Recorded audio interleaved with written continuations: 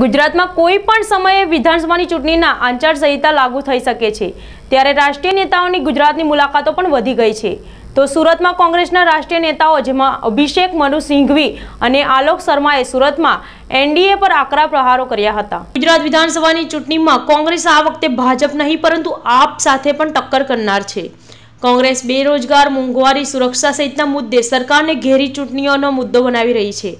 તો આપ પણ વિવિધ રેવડી આપી રહ્યું છે ત્યારે દિવાળી પહેલા ધનતેરસના દિવસે કોંગ્રેસના રાષ્ટ્રીય નેતામાં જેમાં ભારતીય રાષ્ટ્રીય કોંગ્રેસના રાજ્યસભાના સાંસદ અભિષેક મનુ સિંઘવી તથા ભારતીય રાષ્ટ્રીય કોંગ્રેસના પ્રવક્તા આલોક શર્મા સુરતની મુલાકાતે આવ્યા હતા અને એનડીએ સરકારની વિફળતાઓને લઈને પ્રહારો કર્યા હતા मैंने विस्तार से अभी करीब करीब 25 मिनट तक आपसे वार्तालाप किया इसलिए एकदम संकीर्ण रूप से उसको पाँच एक मिनट में समाना संभव नहीं है, लेकिन संक्षेप में, अति संक्षेप में मैं ये कहूँगा कि अब कांग्रेस को वापस लाने की आवाज़, मांग सब लोगों में सर्वोपरि है। यहाँ पर कई मुद्दे हैं जिनके बारे में मैंने आपको आंकड़े दिए हैं। राष्ट्रीय स्तर पे जो विकास की दर हमने दिखाई है जीडीपी की उसके ठीक विपरीत दिखाई गई है मोदी सरकार द्वारा सात वर्षों, मैंने आपको सात वर्षों का कंपैरिजन दिया उसके बाद मैंने आपको प्रदेश के हर आंकड़े पे बताया किस प्रकार से ये प्रदेशिक सरकार असफल रही है, विफल रही है। उसमें शामिल है विकास की दर, उसमें शामिल है भ्रष्टाचार, उसमें शामिल है मानवीय इंडेक्स कुपोषण एनीमा उसमें शामिल है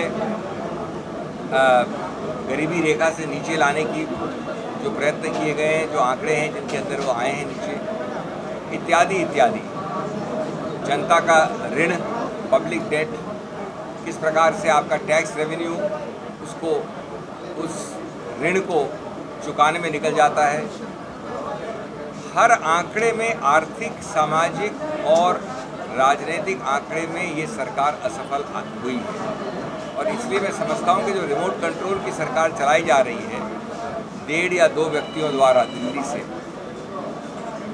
उसके अंत होने का समय आ गया है अब बहुत हो गया है इस देश की इस प्रदेश की जनता अब बदलाव चाहती है और हम निश्चित रूप से एक सफल कंफर्टेबल बहुमत से आएंगे ये हमारा विश्वास है સુરતમાં કોંગ્રેસના રાષ્ટ્રીય નેતાઓ અભિષેક મનુ સિંઘવી અને આલોક શર્મા આવતા કોંગ્રેસીઓમાં પણ જોમ જોવા મળ્યું હતું સુનિલ પાટીલ સાથે હિતેશ પ્રજાપતિ સમય મીડિયા ન્યૂઝ સુરત.